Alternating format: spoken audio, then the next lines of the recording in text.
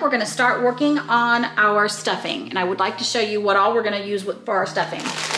I have, this is semi-homemade, so I am going to use these breadstrung bread crumbs by Pepperidge Farm. I'm gonna use four bags of these breadcrumbs. I have onions cut up, celery cut up, two, two sticks of butter, salt, garlic powder, poultry seasoning, black pepper, sage, thyme, chicken broth. All right, so on the back of these bags, there is a recipe for the stuffing. I am just going to tailor this to the way that I like to make my stuffing. So um, as whenever it comes to talking about seasonings, we everybody's seasoning level is different. So I'm going to put in as much as we like. For my suggestion for you is that you start out light with your seasonings and add more gradually until you get the taste that you want. The first thing that we wanna do to get our um, dressing started is we wanna melt our butter. All right, our butter has almost melted. I'm gonna add in my onions, my celery,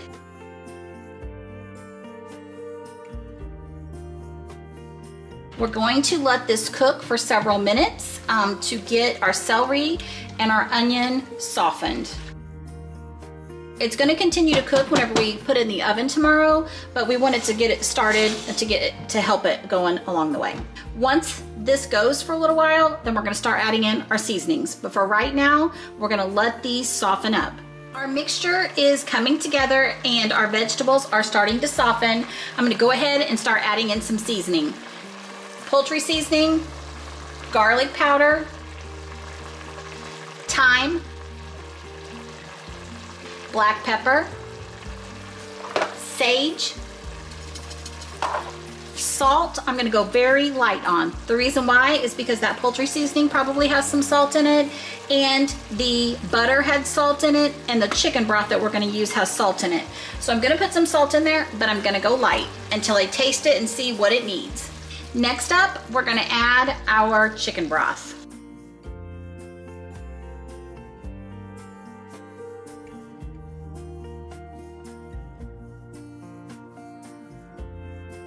Our mixture is back up to a boil, so what we're gonna do is we're gonna take it off the heat and let it cool down.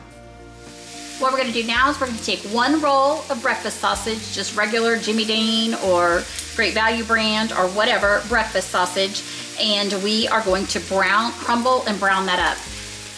While we're waiting on our sausage to brown, I'm gonna go ahead and open my breadcrumbs and get them into this massive bowl. We have half of our breadcrumb mixture.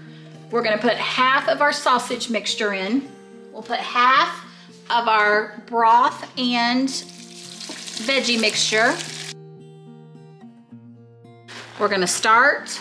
The reason why we're gonna do half is because in the bottom of your bowl, it's hard to get down there whenever it's completely full. So you wanna do a little bit at a time and then that's easier to get everything mixed up.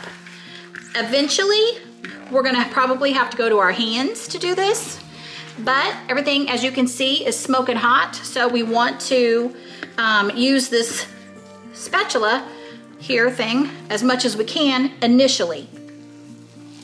Now, this whole thing with chicken broth, it's really how you like your dressing or your stuffing or whatever you call it. Um, mine's gonna be casserole. I'm not putting mine in my bird. I like my dressing, stuffing, whatever you wanna call it.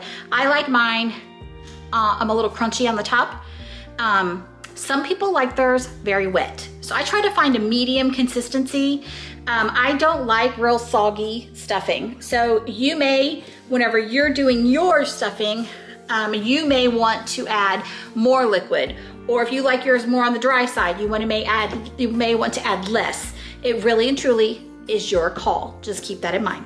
At this stage, you may want to take a little taste of that to see. Remember, your veggies aren't going to be all the way soft, but you may want to test that for the flavor. Ours is good.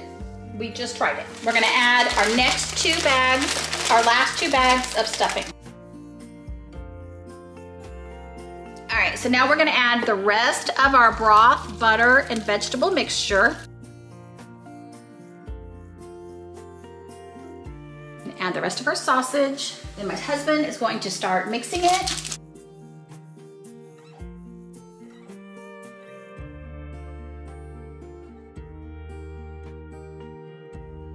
This is messy, just keep that in mind. Because as that moisture gets soaked in, it gets harder and harder to stir. So what we're gonna do is we're probably gonna have to let this cool off a little bit and then go in with our hands and make sure that it's really, really mixed. All right, so somehow we magically did this right without having to do a bunch more, add a little bit of broth, add a little bit more seasoning, that kind of stuff. This normally doesn't happen. So if it doesn't happen for you, don't stress because it's just a matter of doing it and figuring out what things are supposed to look like. Have two of aluminum pans and I have put a light coating of nonstick cooking spray. So my husband's gonna, we're gonna do even pans of stuffing.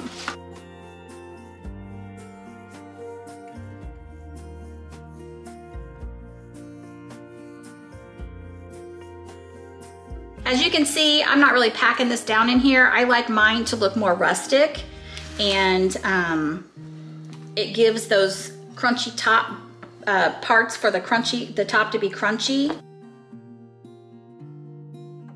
Two pans of stuffing, all done. We're gonna um, be back tomorrow whenever we get these in the oven. Here is our finished um, dressing. As I told you that I like mine crunchy on the top, so um, we didn't we baked this uncovered. Be excited to let you know how good it is. Hey guys. All right, so today we are making baked beans. So we really love baked beans with our ham um, and we typically make a batch of baked beans and then if there's any leftovers then we eat it with the leftover ham as well. All I have done so far is I have three cans of this Bush's baked beans um, in a um, aluminum pan. I had my husband dice up green peppers and onions. Once you get your green peppers and onions in um, your beans, then you're gonna add, um, I add light brown sugar, but you could add um, dark brown sugar, whatever is your preference. Um, it's really depending on how sweet you want your beans and how many cans of beans that you're using as to how much brown sugar. And then next, I like to put in um, just some mustard, um, just to kind of give it that vinegary taste on the back end. And I don't put, I don't put very much mustard in here because I'm not a big fan of mustard. And then get this all incorporated. However oniony or green peppery you want it, if that's even words, um, is really and truly up to you. So um, what we do is we typically start on the um, start on the less and always add more kind of philosophy. Y'all, I am so thankful. I don't know in some of my other videos if you have heard me complain about these onions that I bought. Um, they are so strong. And so um, I've got one more of those onions and then thankfully those babies are gone and I bought another batch and I'm just praying that they're not nearly as strong as these are. All right, so my husband's here helping me today. I think that's enough, don't you? Mm -mm. Okay, so this is kind of how we like ours and the fact that we are hosting, um, people may or may not like a lot of onion and green pepper, so um, we're gonna go on the lighter side. The next thing that I do is I take bacon and I just cut up the um, slices. These we bake in a 350 oven, depending on how many you have. Keep in mind, that's always a, a part of it, is how much uh, cans of beans that you have. So we bake ours about for in a 350 degree oven for a good 45 minutes to an hour. Um, this bacon will not be crispy on top, but um, all of the flavor will be rendered out of it.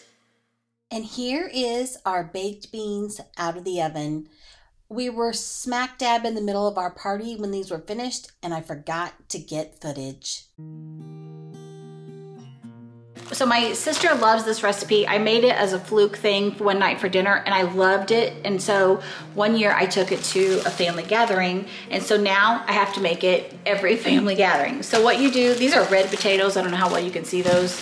You need onion, smoked sausage, vegetable oil, two cans of green beans, slap your mama seasoning, garlic powder, black pepper, minced garlic, and butter.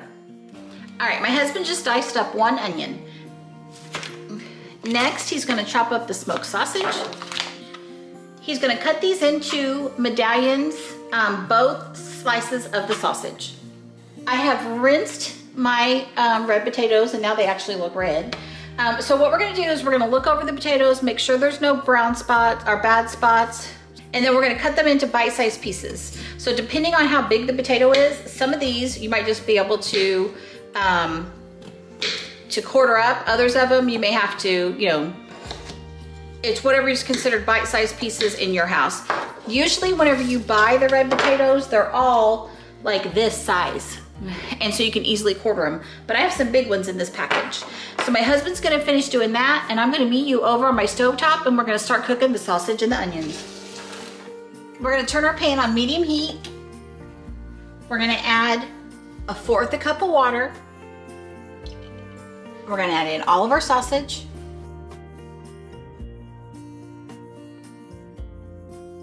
What we're trying to do is we're trying to brown off our sausage. So um, you kind of want to get it all in a flat, uh, in one layer if you can. And we're gonna let this cook, let the water evaporate, let our sausage brown up. So I'll be back once this gets going. This is gonna look like it's doing nothing for a little bit, so don't get alarmed. But eventually that water is gonna just um, to evaporate and then your sausage is gonna start browning. Once your sausage is done, you're gonna transfer it to a plate and let it start to cool down. All right, our sausage is starting to brown up and that's exactly what we want. So what we're gonna do is we're gonna take this out and put it on a paper plate so that it can cool.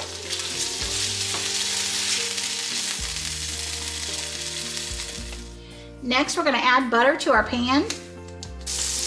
We wanna get all those good seasoning off the bottom of the pan. And we're gonna add in our onions. Where I got this spatula at, but I'm definitely gonna get another one. Um, it's a good scooper and a spatula, so. All right, we're gonna let these cook and start to soften up. Next, we're gonna add our minced garlic, and remember, garlic will burn, so you don't wanna put the garlic in until you're just ready to heat it up and get it fragrant. Whenever my garlic's done, all I'm gonna do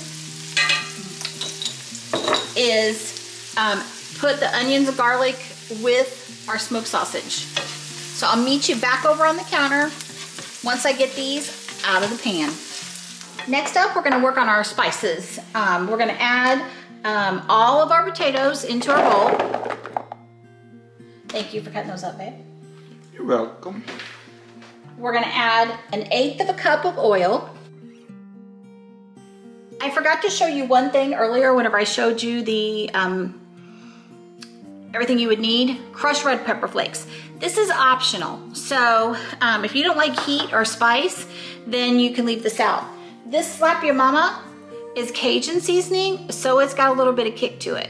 So I don't think it's bad, but I don't mind um, flavor. I'm not a big person with um, super hot stuff, but if it's got a little bit of heat to it, but it's got good flavor, I'm good with that. So you can judge if these seasonings would be appropriate for your family. So the first, you're just gonna sprinkle all your seasonings, all of your potatoes. We're gonna add in our green beans that we drained. I'm gonna put the lid on. And what I call it is shake, shake, shimmy.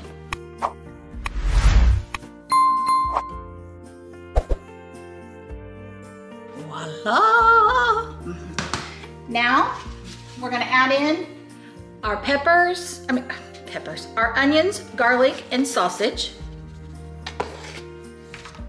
And we're gonna do the same thing.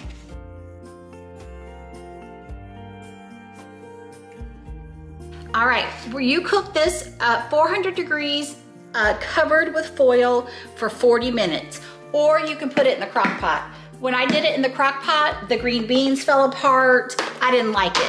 So I prefer the oven method. So I'm gonna get all of my um, ingredients in my pot. I'm gonna make sure I get all that goodness out of there. I'm gonna cover this with foil and it's gonna go in the oven 440 minutes. And here are our sausage, green beans, and potatoes. Oh man, you guys, these are so, so good. Wanted to tell you thank you so much for following along um, with these Thanksgiving side dishes.